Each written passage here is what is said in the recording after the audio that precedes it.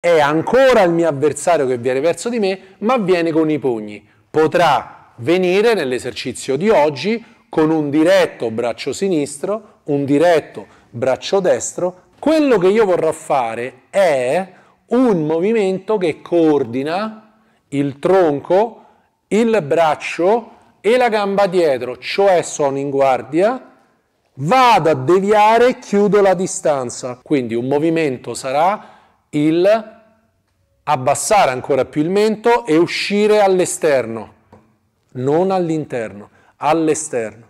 Non spostando tutto il tronco in blocco, ma spostando prima la testa e poi il resto. Spesso vengono insegnate le schivate muovendo il tronco? No, è la testa che comanda.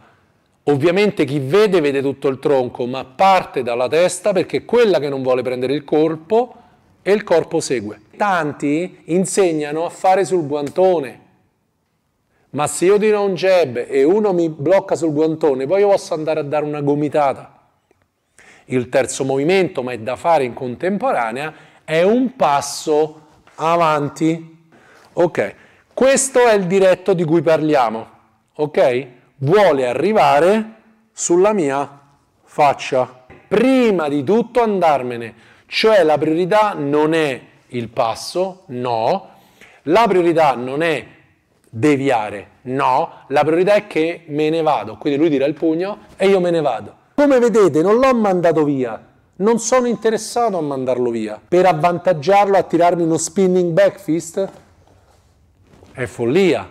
Abbiamo detto sono tre movimenti, devo andare in avanti. Quindi io sono in guardia, lui va a colpire, io vado in avanti. Tre movimenti, facciamo i primi due insieme e il passo dopo. Quindi uno e due.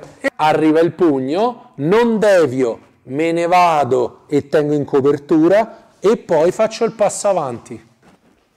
Paro e sposto. Bam! La gamba dietro ci assiste, cioè, esagero, non ho le gambe dritte e piego il tronco così No, ho le gambe flesse e quando vado a destra il peso va più su questa gamba che mi sostiene un po' si flette. Voglio andare a cinturare il tronco del mio avversario.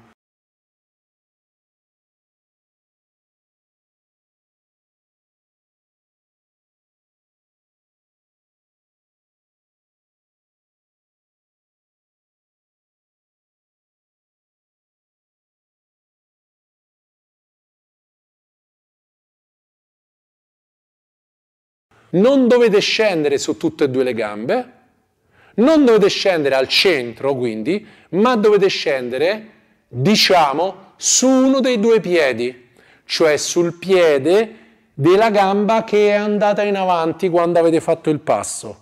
Sto scendendo sulla destra e vado a guardare il mio piede sinistro. Jeb, io faccio il passo, ok? Qui afferro, lo stringo a me, scendo e poi tiro. E mi trovo qui. Non è indispensabile andarci sopra, ma vedrete che è naturale.